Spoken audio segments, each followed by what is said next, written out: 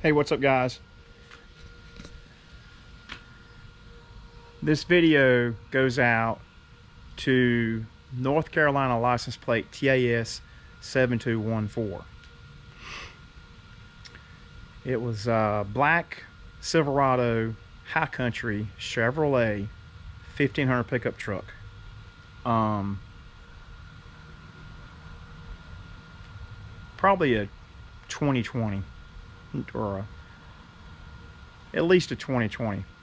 Beautiful truck. But here's the thing.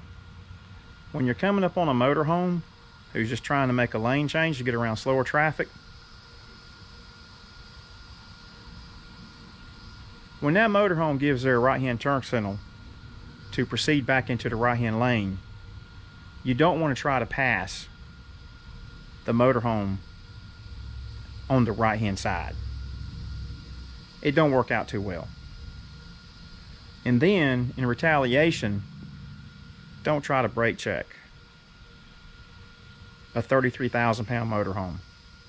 It's not going to work out very well. Anyway, that's all I had to say. Y'all have a good one.